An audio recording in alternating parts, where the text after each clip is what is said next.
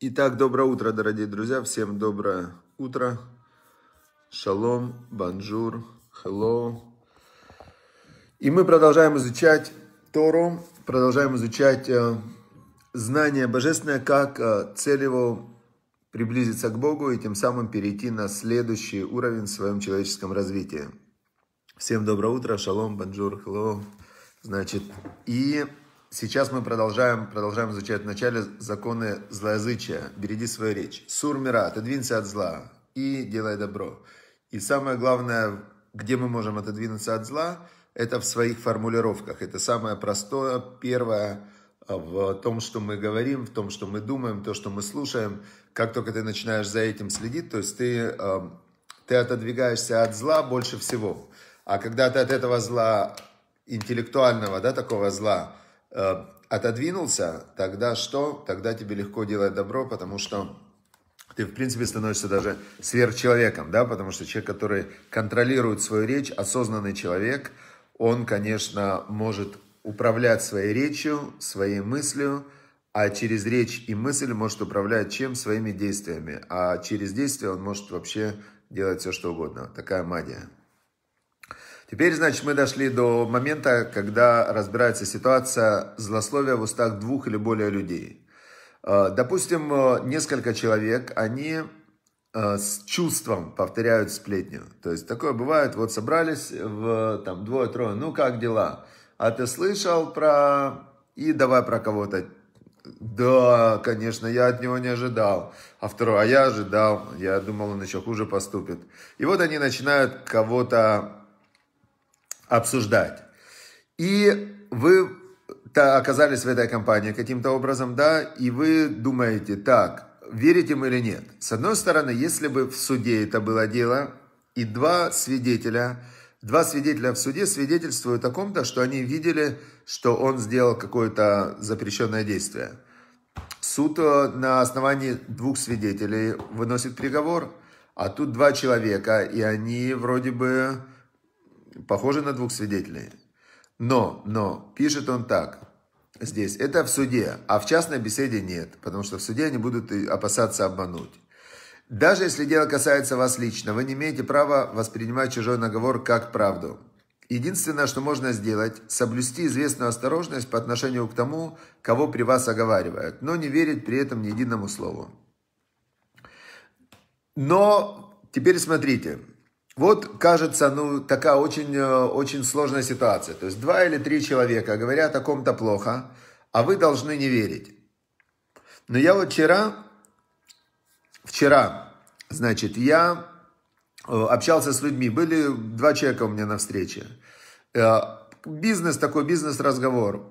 Бизнес-разговор, но в любом бизнес-разговоре все равно идет вот такая, знаете, Значит, чтобы было рефуа шлама, полное выздоровление всем больным, всем выздоравливающим, чтобы была всем сила духовная выздороветь, потому что выздоровление, духовная сила – это самая главная сила, желание вот это вот внутреннее выздороветь, чтобы Бог дал каждому из выздоравливающих духовную силу выздороветь. И чтобы врачам дал мозги и дал правильное решение, чтобы они правильно поставили диагноз и хорошо лечили.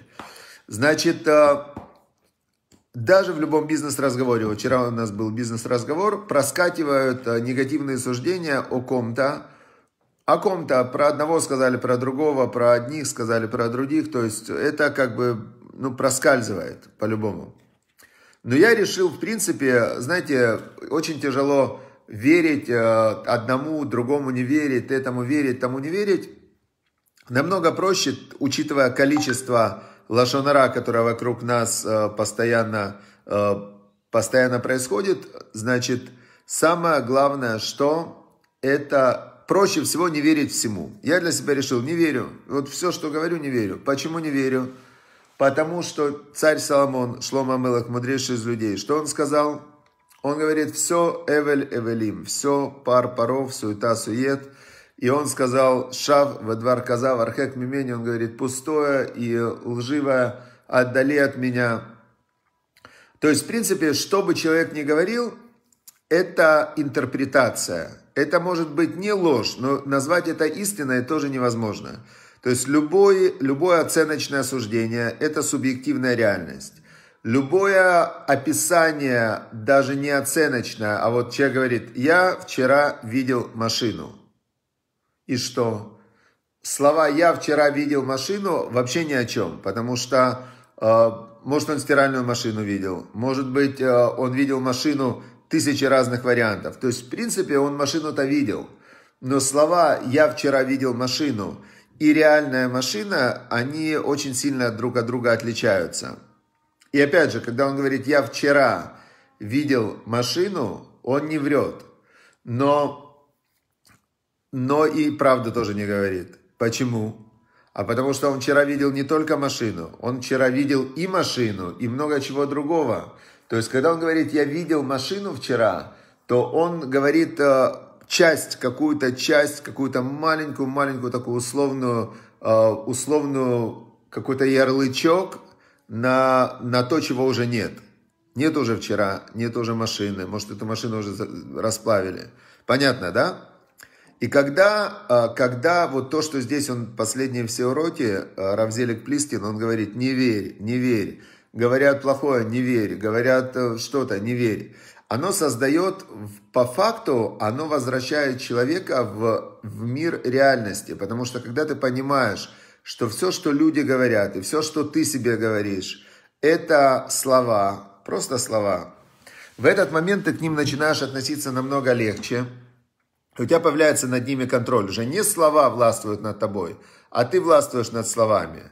Как а, там я когда встречаю людей в негативном состоянии эмоциональном, вот они начинают себя сами же словами еще сильнее загонять яму. Все, я там с ума схожу, я, значит, э, э, все дохожу, я прихожу. Я, я говорю, зачем ты себе эти все говоришь слова?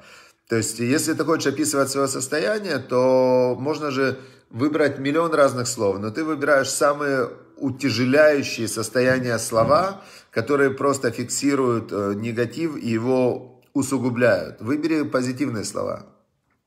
Значит, хорошо, с этим мы разобрались. То есть даже если два человека или три говорят о ком-то негативную информацию, то установка твоя по умолчанию должна быть «не верю». Почему? Потому что для тебя же лучше не верить, но при этом ты не веришь им то, что они говорят. Но ты для себя делаешь галочку. Я не верю, но надо быть осторожнее. С, там, с тем, про кого они рассказывают, просто надо быть осторожным. Я не верю то, что они рассказали, но буду осторожнее. Понятно, да? Хорошо. Теперь переходим дальше. 22 заповедь. Значит, мы сейчас уже изучили 21 повелевающую заповедь из 21 повелевающую заповедь из в настоящее время актуально 77 заповедей из Торы, а всего из 248 повелевающих заповедей в Торе и 365 запретов. Интересно, что каждая из 248 повелевающих заповедей, она связана с каким-то органом тела. То есть у человека есть 248 частей тела. Я не знаю, как э, эти части разделили, но есть э, такое вот в Торе э, сообщение, что у человека есть 248 частей в теле, и каждая заповедь каким-то образом повелевающая связана с этими частями. А 365 дней в солнечном году, значит, и 365 запретов каким-то образом связаны с этими 365 днями. Теперь, вот Ривка Абельман спрашивает, какие э, позитивные слова, если себя плохо чувствуешь?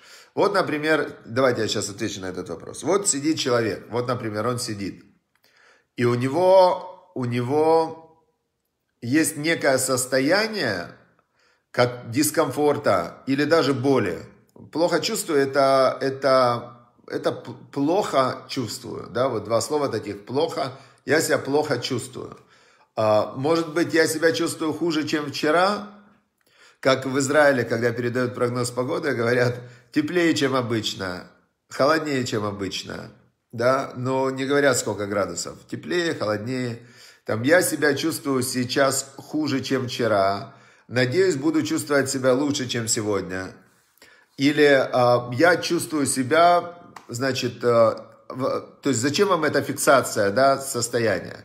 Вам важно словами, если вы можете улучшить, так лучше сформулировать так, что я сейчас э, предприму, предприму действия для улучшения своего состояния. Я сейчас буду отдыхать, например, да, если вы хотите просто лежать. Я сейчас отдохну и расслаблюсь. Сейчас я предприму действия по улучшению состояния. Понятно. Я сейчас померяю температуру. Понятно. У меня температура 38. Понятно.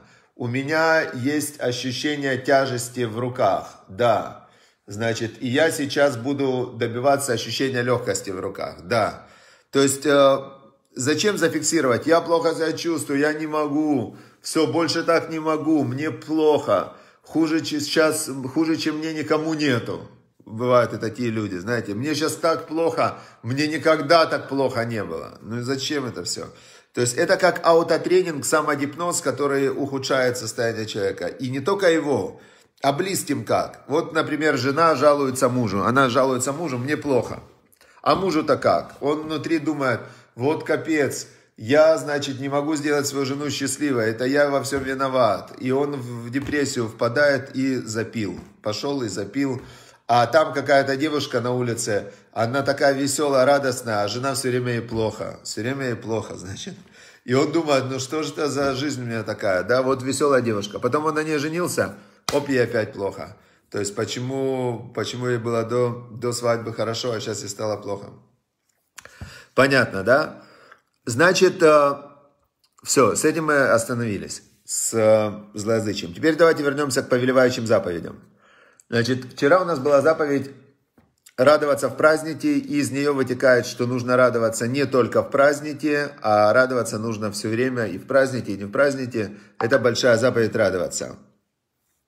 Теперь 22 заповедь, повелевающая устранить хамец 14-го Ниссана. Значит, это повелевающая заповедь убрать квасное из дома 14-го Ниссана. Это как раз э, вот Песах, он наступает с заходом солнца 14-го Ниссана. Заходит солнце, а потом выходят звезды. Все, это Песах. Это пасхальная ночь, когда Бог вывел еврейский народ из Египта 3333 года назад. В этом году мы праздновали. Теперь почему-то, совершенно непонятным мне образом, не только мне, но и всем, хлеб, который всему голова, на который делается каждый шаббат, делается кидуш на хлеб – освящение субботы над э, двумя халами. Хлеб, который, после которого читают Беркат Амазон, благословение после еды, заповедь истории. Мы проходили, это 13 заповедь у нас была по счету. Значит, благословение после еды читают именно после еды с хлебом. Хлеб, э, например, почему еще важен? В Сукот, например, да, все семь дней, каждый день делают праздничные трапезы в шалашах с хлебом. И тут вдруг в Торе Всевышний прямым текстом говорит, значит, 7 дней Песаха, 7 дней Песаха, квасное нельзя, чтобы в доме находилось. Нельзя хлеб и все квасное, нельзя, чтобы в доме находилось, нельзя видеть, нельзя есть. А, то есть страшно, вдруг на 7 дней хлеб становится полностью ядом, таким ядом, что даже чуть-чуть его этого хлеба невозможно, чтобы нельзя его вообще ни в каком виде употреблять. 7 дней. И 14 это отдельная повелевающая заповедь. Уничтожить квасное, то есть его из домов полностью убирают. Если вдруг что-то там забыли, говорят, это не мое, то есть делают это, называется битуль белев. То есть в сердце говорят, все квасное, которое мне принадлежит, с этого момента объявляю ничьим. Оно не мое, ничье, эфтер. Вообще, просто бери, кто хочет. У меня квасного нет. Все. Да, если я его где-то не нашел.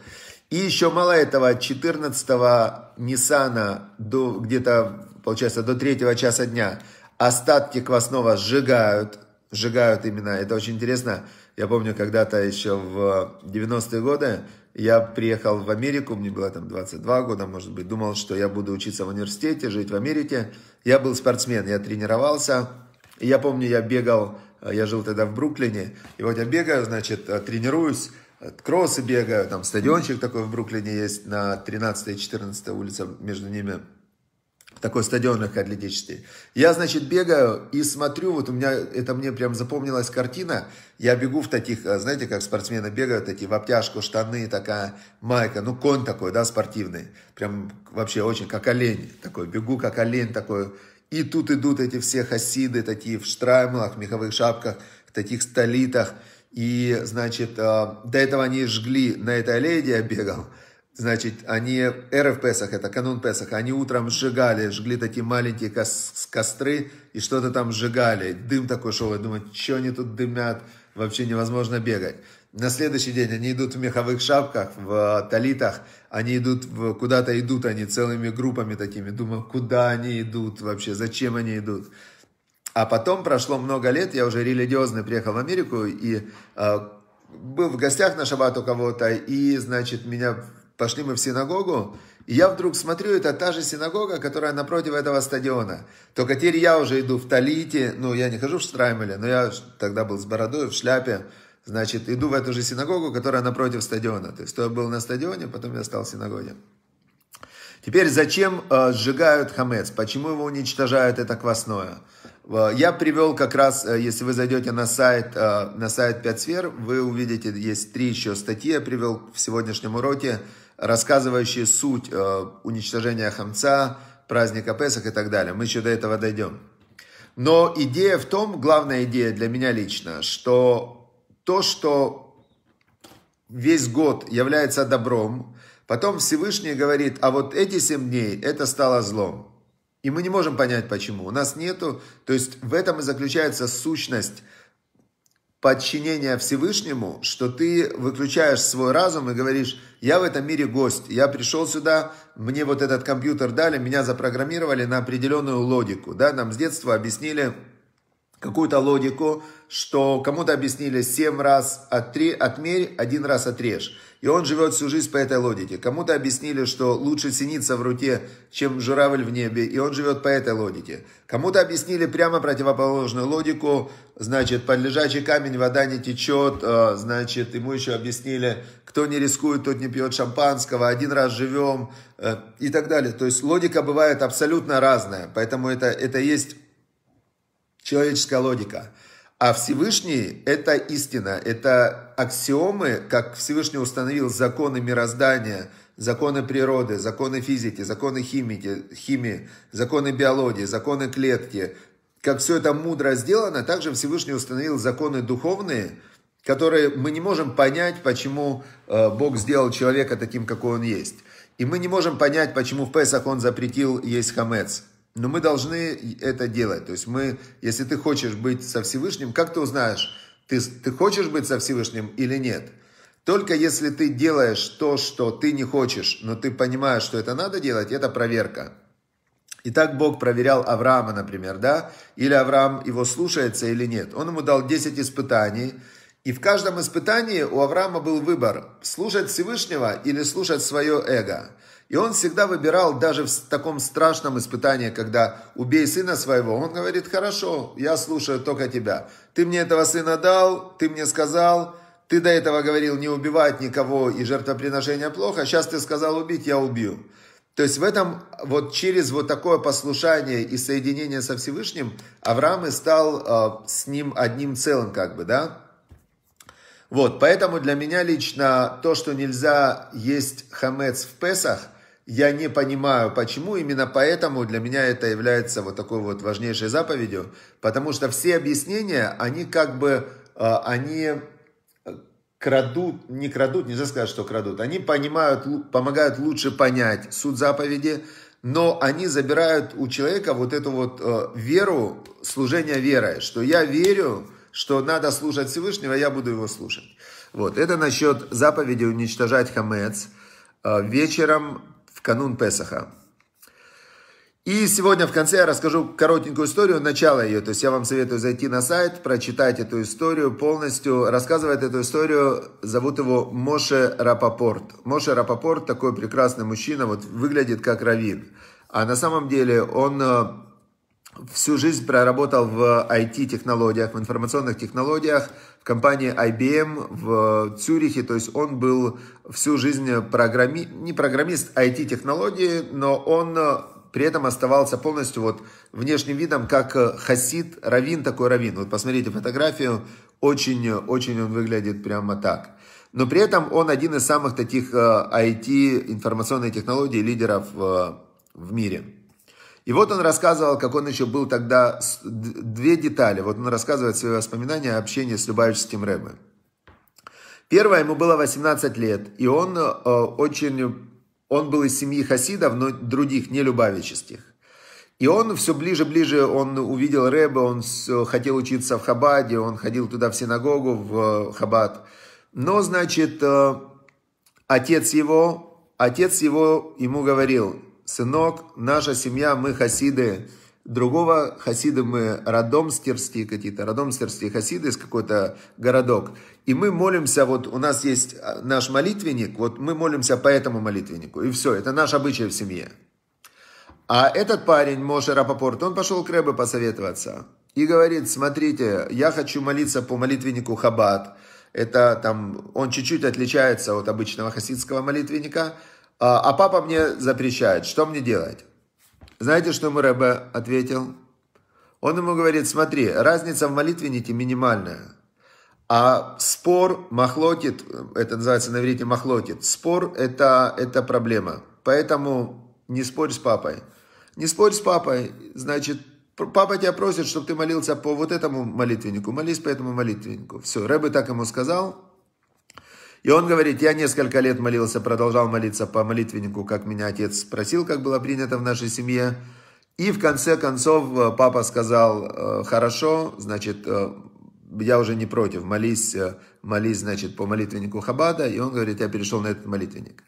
Дальше он женился, и то же самое, он хотел быть раввином, но Рэбе сказал ему, что послушай, если ты будешь работать, и если ты будешь э, религиозным человеком, который работает, то э, для тебя это будет лучше. И он поехал тогда в Швейцарию, его приглашали на собеседование, и он, значит, в Швейцарии, он э, получил работу. Но что интересно, он пишет, в Швейцарии в то время считалось неприемлемым носить э, кипу в офисе, да, значит, но он говорит, а как я мог не носить?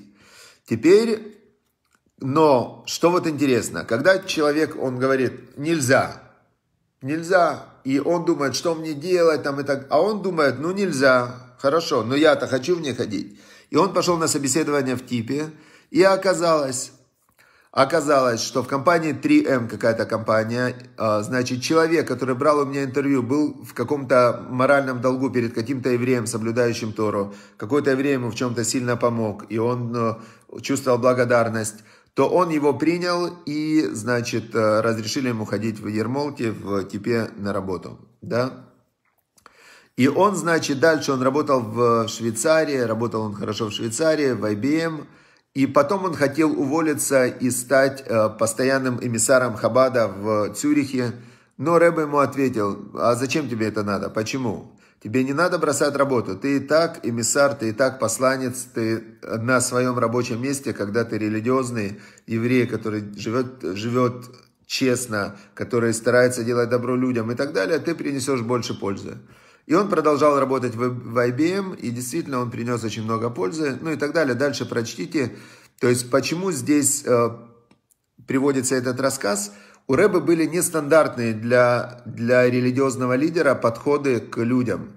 То есть, он в каждом человеке он видел, где максимально он может э, проявить себя в своем служении Всевышнему и принять. Поэтому, поэтому, значит, э, на сегодня у нас э, нет возможности к Рэбе, конечно, обратиться за советом, но изучая вот эти рассказы, иногда через них приходят очень хорошие, полезные мысли, советы, которые Всевышний нам и передает. Почему Ваикра называется портал Ваикра? Потому что Ваикра слово переводится «возвал». И в Торе написано «Всевышний взывал к Моше Рабейну», а, к пророкам, а сейчас мы, изучая Тору, мы тоже понимаем, как Всевышний к нам взывает. Все, всем удачи, успехов, прекрасного, хорошего дня. Все, всем удачи, счастливо. До свидания.